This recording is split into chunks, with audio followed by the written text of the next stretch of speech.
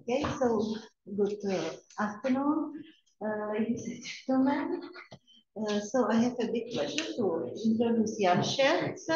Um, as you see, there are three three affiliations, and it is because he's uh, he was PhD student on on the basis of cotutelle. So he was as a PhD student at University of Würzburg, together on University, Charles University, and also working with me, which means that there is also Institute of uh, Mathematics, Academy of Science, and today he will speak about his uh, his thesis, which means everything what is written here, big solution for this uh, mathematical models for this uh, interaction between fluid, solid, and electromagnetic field. So please. Okay, so thank you very much for the kind introduction. And of course, also thank you to the organizers for giving me the opportunity to speak here today. And um, yes, as Šárka said, I will uh, talk about my PhD thesis. Um, mainly, I will repeat my talk from my defense just a couple of months ago, but with a few more details today.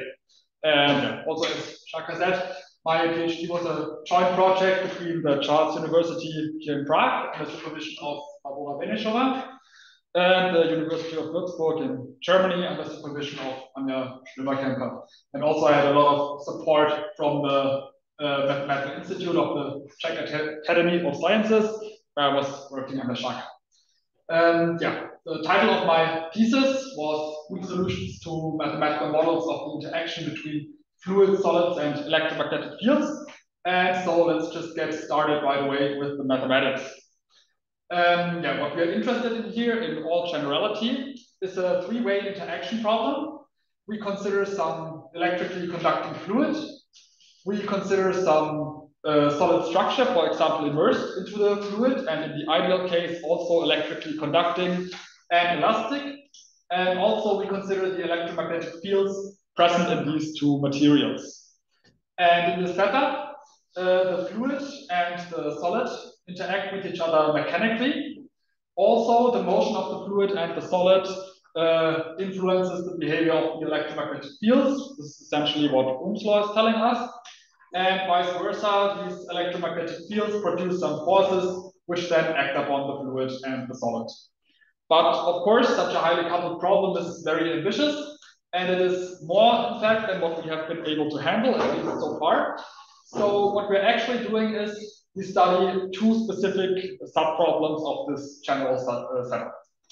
And these two subproblems are first, uh, the motion of an insulating and rigid body through an electrically conducting fluid, and uh, second, the evolution of a magnetoelastic material. Today we will go through both of these problems. Uh, first, we will always start with the model we use for the mathematical description of the respective situation. And we are always interested in weak solutions to the model. And our main result for both problems will prove the existence of the weak solutions. And in the end, I will always say a few words about the main ideas of the proof of the respective result. And of course, we start with the first one of the two problems, fluid-rigid body interaction in an electrically conducting fluid.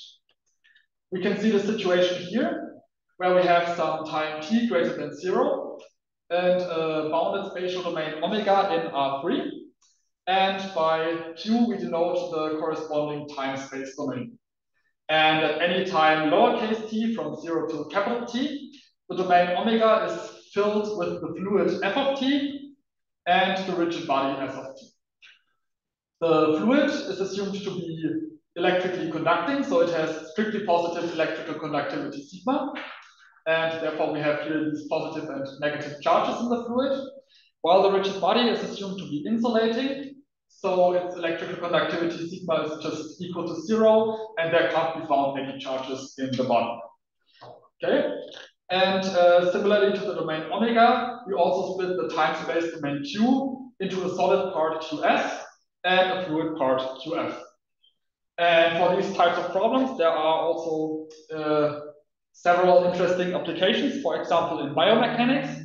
And one particularly interesting example we can mention here is the so-called problem of uh, remote drug delivery.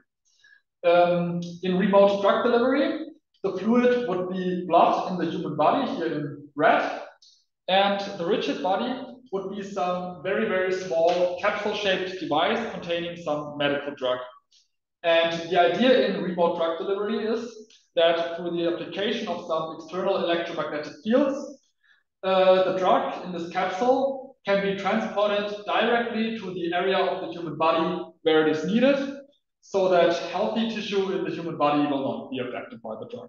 But this just to give you some idea about what type of situations we are talking about here. And yeah, then let's focus on the mathematics and let's continue with the model used for the uh, mathematical description of such a situation. And we start with the description of the fluid, which we here assume to be incompressible. We have also done the compressible case, but due to time reasons, uh, I will mainly focus on the incompressible case today, and just in the end, I will say a few words about what changes in the compressible set. And yes, so we have here the incompressible Navier-Stokes equations. So we're looking for a velocity field u, uh, density rho, and a pressure p, which satisfy here the classical continuity equation and here the classical momentum equation. And in the momentum equation, we notice that besides some given external forcing term g, we have a second forcing term, 1 over mu curl of E times B. And this is in fact not an external force, because here B, the magnetic induction, constitutes another unknown from our overall system. And so this whole term, 1 over mu curl of E times B, uh, represents a reduced form of the Lorentz force, which shows the influence of the electromagnetic fields on the motion of the fluid.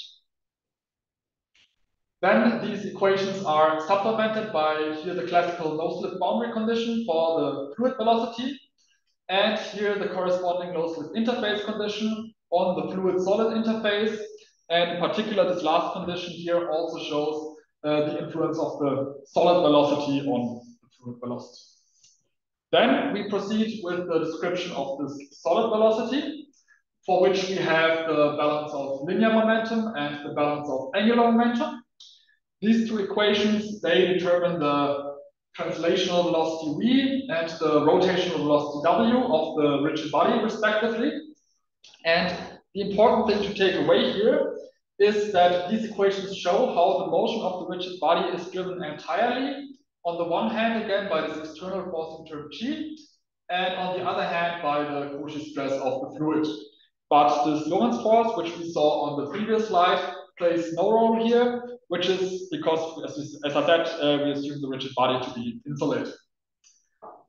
Okay, and then the overall solid velocity is given as the rigid velocity fields down here, namely the translational velocity v plus the rotational velocity w times x minus the center of mass capital X of the rigid body.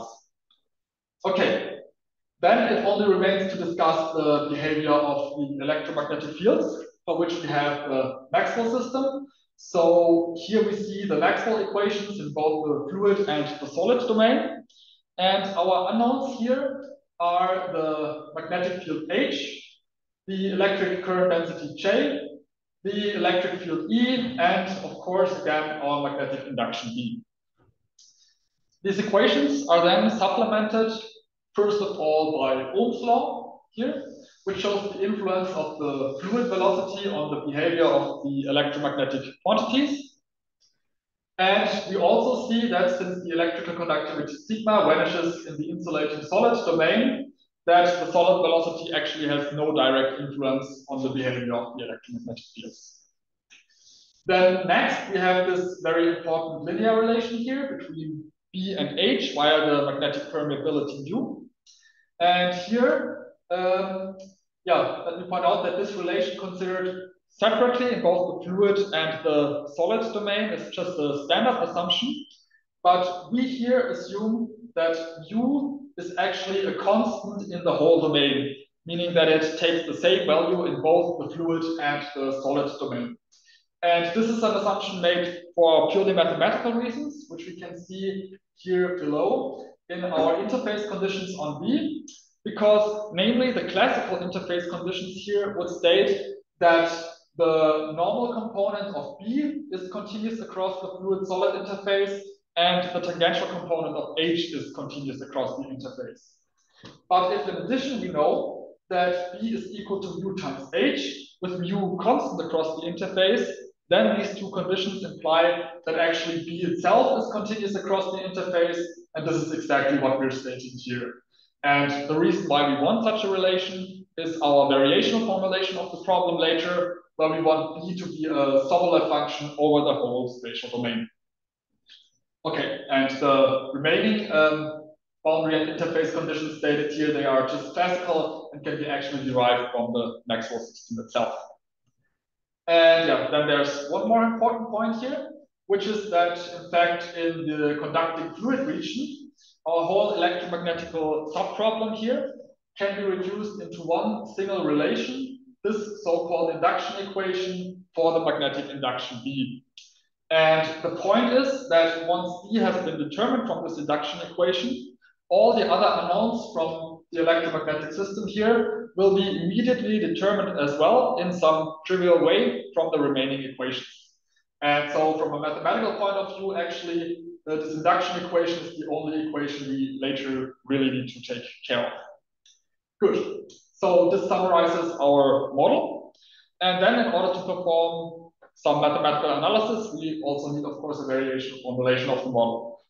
For this, we start by introducing two specific test function spaces. First, the space C for the momentum equation, which consists of functions with a vanishing symmetric gradient in the neighborhood of the solid domain. This reflects upon the fact that the solid is a rigid body. And similarly, the space Y for the induction equation consisting of functions that are curl-free in the neighborhood of the solid domain, reflecting upon the solid also being insulated. Okay, and the important thing to notice about these uh, test functions is that they depend on the solid domain and therefore on the overall solution to the problem itself. And this is kind of bad because it causes the problem to be really highly coupled and this will later cause our main difficulties in the mathematical analysis. But now let's really continue with the weak formulation. And so we say that a weak solution to our problem consists of an orientation preserving isometry eta, which describes the motion of the rigid body, the density rho, the characteristic function chi of the rigid body, the velocity field u, again with vanishing symmetric gradient in the solid domain because the solid is a rigid body, and the magnetic induction B, again with vanishing curl because the solid is also insulated. And of course, we want these functions to satisfy certain equations, which we see here on the following slide. So first of all, the characteristic function chi and the density rho need to solve the transport equation associated to the velocity field u. Then this variational formulation of the momentum equation is supposed to hold true for all test functions from this uh, specific test function space C we introduced earlier. And this variational formulation of the induction equation needs to hold true for all test functions from the corresponding test function space Y. Okay. And now, before we turn to our first main result, which proves the existence of such weak solutions, let's first have a brief look at the already existing literature so here we see just a very, very short selection of articles. Of course, there are many result, many more results already available, but yeah, today I will focus on the most crucial ones for our specific work. So let me first point out that the purely mechanical interaction problem between fluids and rigid bodies, but without any uh, electromagnetic fields involved, has already been extensively studied. For example, here by Eduard Feireisl. And the same can be said for the interaction problem between fluids and electromagnetic fields without any solid structure. For example, here by Remy-Zahn. And then I should also mention the work by Guermond and Minev, who really studied the interaction problem between um, uh, insulating rigid body, an electrically conducting fluid, and the electromagnetic fields trespassing both of the materials. However, in their case, this rigid body was assumed to be immovable. And now we come and we study the same problem, but with a freely moving rigid body. So what we do is uh, we prove the existence of weak solutions to the interaction problem between a freely moving insulating rigid body, an electrically conducting fluid, and the electromagnetic fields present in both of the materials. And our specific main result here looks like this. So under certain kind of standard assumptions, we find the time t prime greater than zero, such that on the interval zero until t prime, our problem indeed admits the existence of a weak solution in the sense we specified earlier. And this weak solution additionally satisfies uh, the energy inequality displayed down here, and also the existence time t prime can be chosen as the first time at which there occurs a contact between the body and the boundary of the domain. Okay, and then, as I said earlier, uh, we will also have a look at the proof of the result. So um, the main idea of the proof is to use some approximation method, meaning that we first consider an uh, approximate problem, which is kind of easy to solve. And then after solving this problem, we recover a solution to the original problem uh, by passing to the limit in the approximation. And our specific approximation here consists of three different levels. First, we use a time discretization via the Rothe method. This um, helps us to decouple the system, then allows us to deal with these solution-dependent test functions in the induction equation. Then, in order to handle the corresponding test functions in the momentum equation, we use the so-called Brinkman penalization.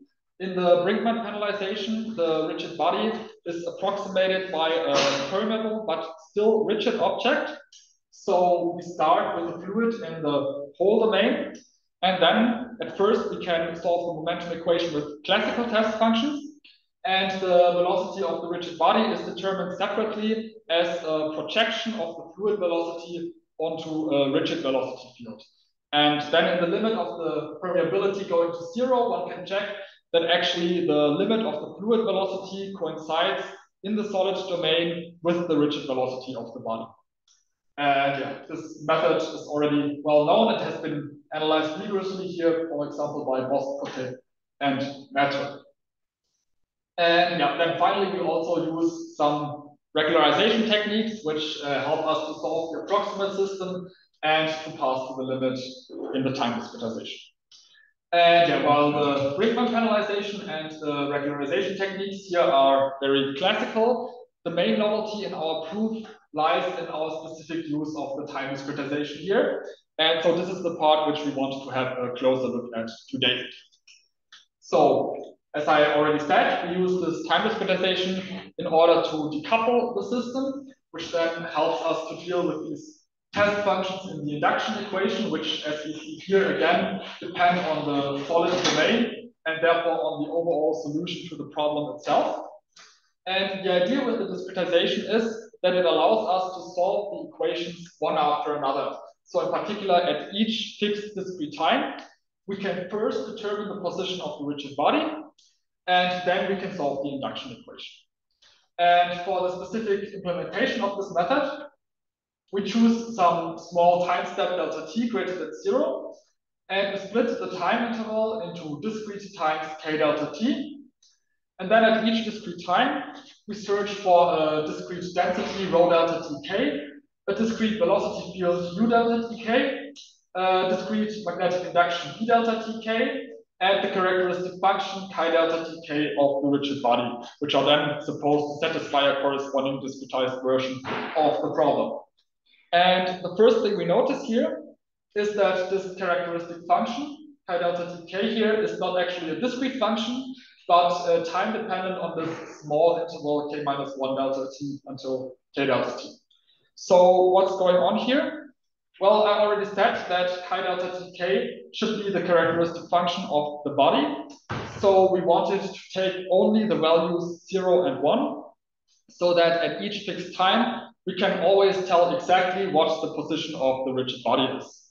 And of course, this behavior can be guaranteed if chi delta tk solves the classical transport equation, but it seems that we might lose this property if uh, the transport equation is discretized. And for this reason, we decided uh, that we want to construct chi delta tk immediately as a time-dependent solution to a classical transport equation, looking something like this. Here on these small intervals, k minus 1 delta t to k delta t. And this is good because once chi delta tk has been determined from this equation, um, we have a solid domain at the time k delta t given as the set of all x in which chi delta tk at the time k delta t takes the value 1. And then with the solid domain at hand, we can turn to the induction equation, where we now consider discrete test functions curl free in this given solid domain. And with the test functions given, it then really becomes a routine matter to solve a discretized version of the induction equation looking something like this. Here for simplicity, I just omitted some of the regularization terms use in our approximation, but it's really easy to see that with uh, some slight regularization and with these test functions given, uh, this equation here can be solved just via some standard coercivity argument. Okay, so this summarizes how we deal with these uh, solution-dependent test functions in our induction equation. And yeah, that's all I have to say for our first proof here. And then let me just say a few words now really about the differences in the compressible case, because in the compressible case, we have studied the same problem. And again, we have proved the existence of weak solutions. And our proof here is some kind of extension of the proof of the uh, in the incompressible case, now with uh, five different approximation levels instead of three. And yeah, first of all, the reason why we have more approximation levels is because in the compressible setting, we now need to use this whole classical uh, existence theory for the compressible Navier-Stokes equations, which itself already consists of three different approximation levels. So now here in addition, we have a Galerkin method in order to solve the momentum equation. We have this parabolic regularization of the continuity equation, and we add some artificial pressure term to the momentum equation uh, in order to increase the integrability of the density. Then, in order to deal with these solution-dependent test functions in the momentum equation, uh, we now cannot rely on this Brinkman penalization anymore because the Brinkman penalization is really designed for the incompressible case. But we can make use of another classical penalization method, um, in which again we start in an all fluid setting. So first again we solve the momentum equation with classical test functions. And then here, the rigid body is approximated by letting the viscosity of the fluid rise to infinity in certain parts of the domain. And the main novelty in the, this, in the compressible setting, again, lies in the time discretization, because again, we need a time discretization in order to deal with the test functions in the induction equation. But in the compressible case, such a time discretization causes some additional problems. Or more precisely, it seems that uh, Control M.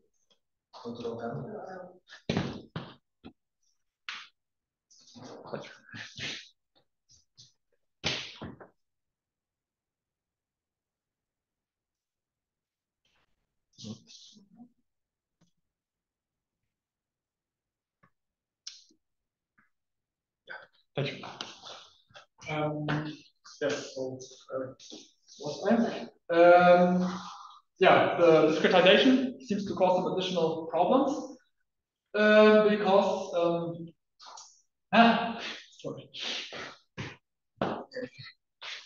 Yeah, confused.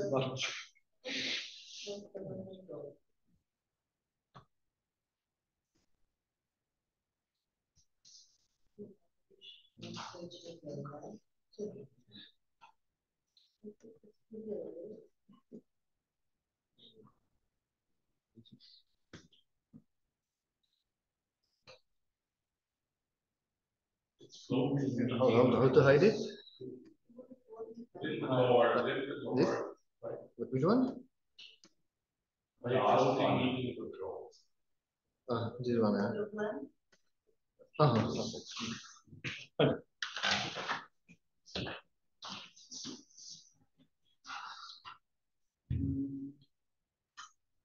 I think I can't return to the previous slide.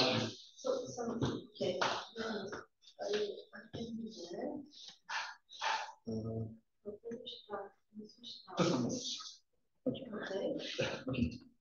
Um, yes, okay, so again, um, this discretization uh, causes additional problems because it seems that um, some of these uh, classical techniques for compressible flow uh, do not transfer to the discretized setting. And in particular, we have not been able to discretize the whole system in uh, such a way that um, non-negativity of the density can be guaranteed, and then we were not able to derive the uniform bounds um, for the discrete solution. But we can recall that already in the incompressible setting, we did not actually actually discretize the whole problem because there we had this transport equation, which we immediately treated as a continuous problem on these small intervals between consecutive discrete time points. And here in the compressible case, we now want to extend this approach. Namely, we in fact only discretize the induction equation and we treat the whole mechanical part of the problem immediately as a continuous problem on these um, small uh, time intervals. Yes, and in this way we can really handle the induction equation exactly as in the incompressible case, while we can still apply all of these um, classical techniques for the compressible Navier-Stokes equations. Good. Now that's all I will say for the compressible case. And um, yeah, so that's also all for the first problem. So let me just quickly summarize this part. Um, so here we have now been studying this um, interaction problem between an electrically conducting fluid, an insulating rigid body, and also the Maxwell system in both the incompressible and the compressible case. And in both cases, we proved the existence of weak solutions. In the incompressible case, the main idea of the proof was this three-level approximation scheme uh, with a time discretization via the Rothe method, an approximation of the rigid body with the Brinkman penalization, and also some regularization techniques. And in the compressible case, we just extended this proof um, with in particular a modified time discretization. And down here, we just see our published results in both incompressible and the compressible. Okay, then I'm really finished with the first problem, and we can turn to the second one, which was the evolution of a magnetoelastic material. So here maybe first of all the question, what exactly is a magnetoelastic material? Well, such a material is in particular elastic, meaning that it deforms under the application of mechanical stress, but it returns to its original shape once the stress is removed. And we see this situation here, where we have such a material in its um, reference configuration omega zero with Lagrangian coordinates capital X. And the deformation of the material is represented by a mapping eta at any time t, which maps omega zero onto the corresponding current configuration omega of t with Eulerian coordinates lowercase x. But of course, the magnetoelastic material is not only elastic, it is also ferromagnetic, and so it has a magnetization M tilde. The tilde here stands for the fact that it is represented in the reference configuration. And um, this magnetization stands in mutual interaction with the deformation. Mainly, the magnetization also changes under the application of mechanical stress, and vice versa, the material deforms when exposed to a magnetic field. And yeah, for uh, applications of such materials, um, just as one out of very many examples. We can again think of this uh, remote drug delivery problem from earlier, where such materials can be used as an alternative, alternative uh, method to steer or control this uh, very small capsule with the medical drug. But again, let's focus on the mathematics and let's uh, continue with the model we use for the mathematical description of such an evolution. And here we start with the description of the deformation eta, via the equation of motion. And the first thing we notice is um, that here, for reasons of mathematical simplicity, we are neglecting any inertial effects. So the first term we actually have here is the divergence of the first Piola-Kirchhoff stress tensor sigma. Then in the back, we essentially just have some given external forcing terms. And down here, the equation is supplemented by some boundary condition on some part of the boundary of the reference configuration. And the interesting part here, of course, is the Piola-Kirchhoff stress, which is specified by this formula. So its divergence is equal to the Cauchy derivative of some energy potential uh, E tilde with respect to eta, plus the derivative of some dissipation potential R tilde with respect to dt eta. These two potentials are specified down here, so let's have a closer look at them. First, um, the energy is composed of an elastic energy and a micromagnetic energy.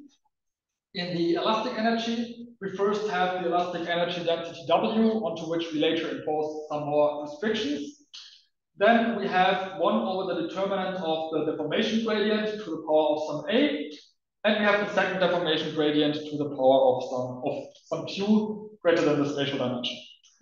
And yeah, here the reciprocal of the determinant of the deformation gradient, of course, has physical relevance because it guarantees that the material cannot be infinitely compressed. But also this term, together with the second deformation gradient, has a very important mathematical meaning because these two terms together give us a very high regularity of the deformation, which in particular allows us to freely transform between the reference configuration and the current configuration. Then in our micromagnetic energy, we start with the anisotropy energy density psi tilde. Again, we will impose some restrictions on this later. Down here, we have the exchange energy, which models the effect that the magnetization of a ferromagnet tends to align in one constant spatial direction. And the term down here penalizes the magnitude of the magnetization, taking values far away from the, from the saturation magnetization, which here for simplicity is just chosen equal to 1. And also we have the stray field H here, uh, which is determined separately via some Poisson equation with the divergence of the magnetization on the right-hand side. And in the dissipation potential, we first just have the, this term, which models the viscosity of the material. And the second term here is kind of interesting because in this term, we see that it's actually independent of dt eta. And so when we look at our equation for the Piola-Kirchhoff stress, we notice that this term actually has no influence at all on our equation of motion. And so at this point, this term seems to be kind of useless, but actually it plays a crucial role in the second part of our model, namely uh, the magnetic force balance for the description of the magnetization. This equation is now um, formulated in the current configuration. And for this reason, we now also write M instead of M tilde for the magnetization. And the first thing we notice about this equation is that it is not actually the full Landau-Lifshitz-Gilbert equation, which is typically used for the description of uh, the magnetization, but again, a simplified version for mathematical reasons. And the next thing we can see is that we already recognize most of the terms in this equation from our um, energy dissipation potentials on the previous slide, except for maybe this term dTm down here, which is specified like this, and which constitutes the transport of the magnetization. And our question at this point is if it's possible to express the, uh, the magnetic force balance here in terms of the same energy and uh, dissipation potential as the equation of motion, despite this uh, additional transport term here, which does not appear in the equation of motion. And um, the answer to this um, question turns out to be yes, we can do this. Um, thanks to this uh, second term in our dissipation potential down here, about which I earlier said that it seems to be kind of useless. But if the term is transformed into the current configuration and then uh, differentiated with respect to the transport, we obtain exactly uh, this desired transport term in our magnetic force balance. And yeah, then we are really able to just um, write our energy and dissipation in terms of the variables from the current configuration. And then we can express this magnetic force balance in the form down here, and therefore in particular really in terms of essentially the same potentials as the equation of motion. And this will later play really a crucial role in our proof. Um, okay, but before we can think of any proof, we first need, um, again, a variational formulation of the model. And for this, we start by uh, making some more conditions and introducing some more notation. So first of all, in order to avoid self-penetration of the material, we restrict here to deformations of this set E here of so-called internally injective deformations. These deformations, they satisfy the Ciarlet-Nečas condition, which is good because this really guarantees us that they are injected, except for possibly on the boundary of the reference configuration. Then, as already mentioned before, um, we impose restrictions on the elastic energy density W and the anisotropy energy density psi tilde. Or more precisely, first of all, we have this coercivity constraint here on W, uh, which is chosen in such a way that the second deformation gradient in our energy really gives us regularity of the deformation in the corresponding Sobolev space W2. And we have these growth conditions here on W, psi tilde, and their first derivatives, which are chosen just in such a way that we can later carry out all the necessary limit passages with the help of the meter convergence theorem. Good, and now with the preliminaries at hand, we can really state our variation formulation. So here, a weak solution to our problem consists of course, of a deformation eta and a magnetization m tilde or m, depending on whether we express it in the reference configuration or the current configuration. Um, these functions, of course, need to have a certain amount of regularity, which is specified here. And uh, they need to satisfy this uh, variational formulation of the, of the equation of motion and this variational formulation of the magnetic force balance. Um, yeah, so this is uh, not too special. It's very similar to the strong formulation, just in some distributional sense, of course. So we don't need to think about this too much. And then again, before we turn to the next main result, which again proves the existence of such weak solutions, let's first have another um, brief look at the embedding of our work into the already existing literature. So um, again, we see just a very short selection of articles. There are, of course, many more results available already. But um, I would say the specific starting point for our work was the article here by Barbora Benešová, Malte Kampschulte, and Sebastian Schwarzacher, who used um, the specific implementation of De Giorgi's minimized movement scheme in the study of some fluid structure interaction problems. And we decided that we want to apply their approach to the study of some uh, specific model of magnetoelasticity derived down here in this PhD thesis of Johannes Forster. And of course, there are already some existence results available for this model. For example, here by Johannes Forster himself, Barbora Benešová, John and Anja Schlömerkemper. Um, I will say a few words about the main differences of our work compared to uh, these results in a minute. But first, let me also mention the work here by uh, Marco Bresciani, Elisa Davoli, and Martin Kružík, who um, also studied a very similar model to ours, but they had um, a rate-independent transport term in the dissipation potential, whereas our transport term is quadratic. Okay, and then uh, really concerning our work. Um, first of all, as we have already seen, we also need to make some restrictions in the analysis.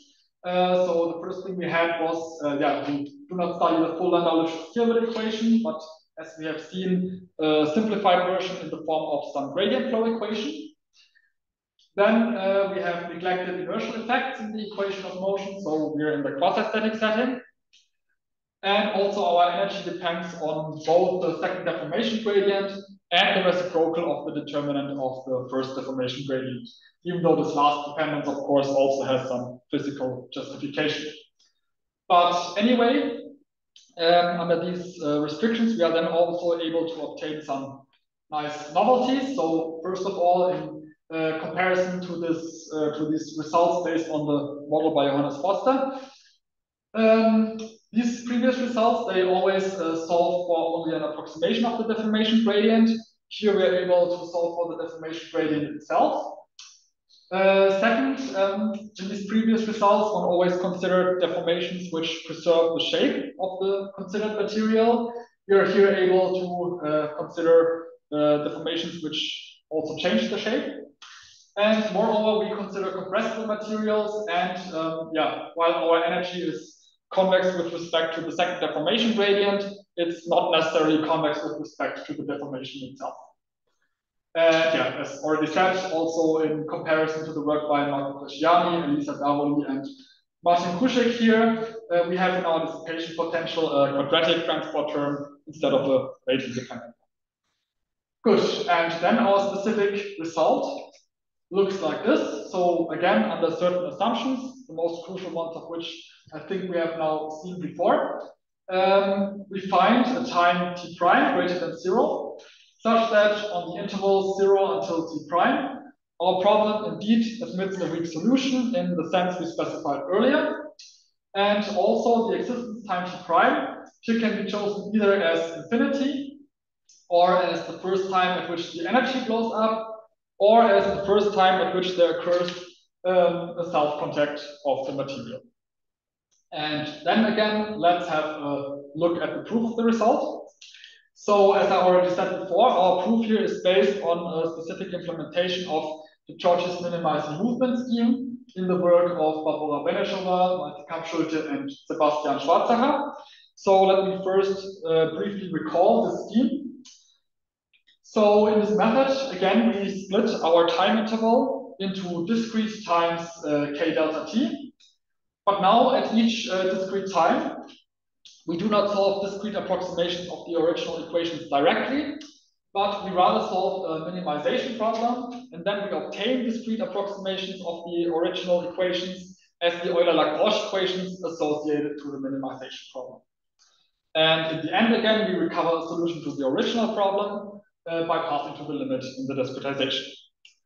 Okay, now one might ask, um, why, in fact, do we need the minimizing movement scheme here? And well, the reason lies in the non-convex energy in two points, actually. First of all, in general, coupled systems of PDEs are often solved uh, with the help of fixed point arguments. However, fixed point arguments um, often rely on uh, convex energy, which we just don't have in our case. So this approach is kind of out of question for us.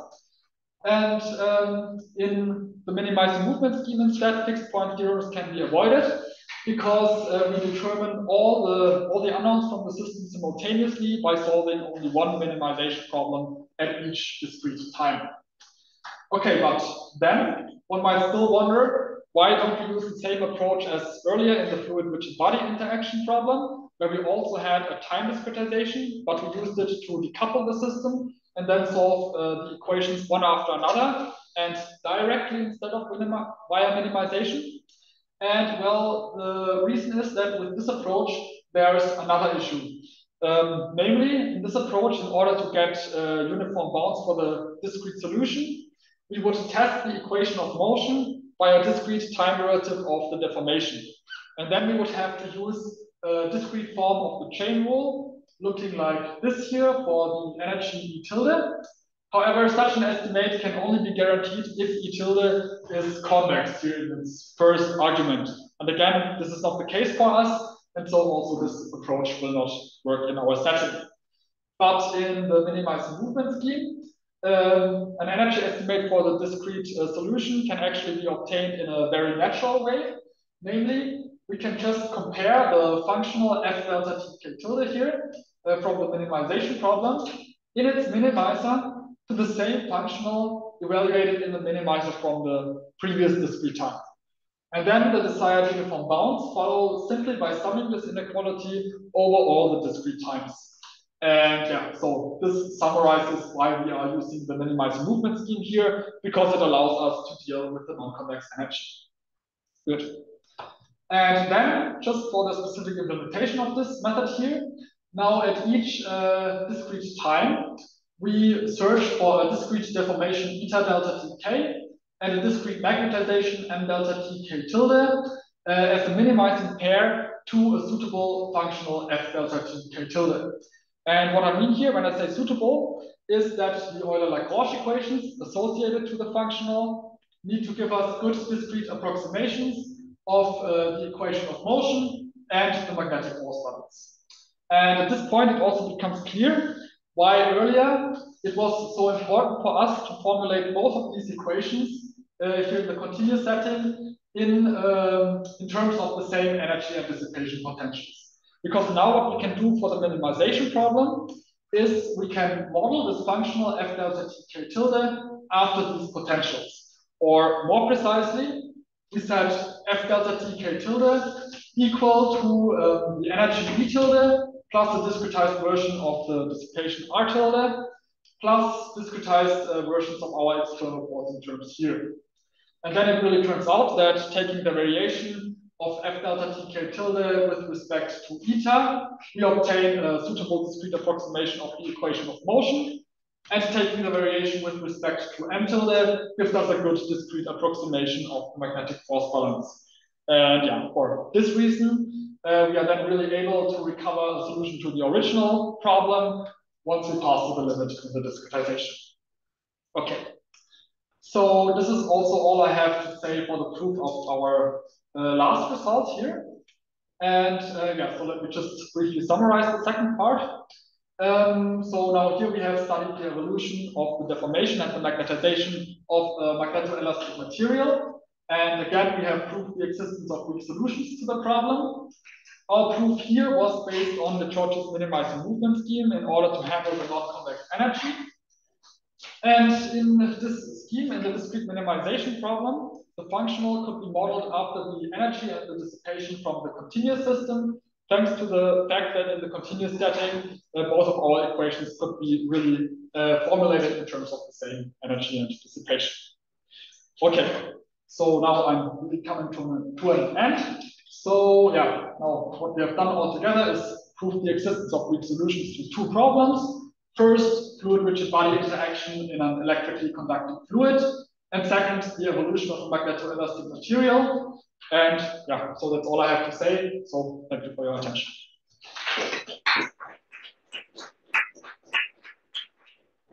Thank you very much for your very nice talk. Some questions and Mark's questions. Please go ahead.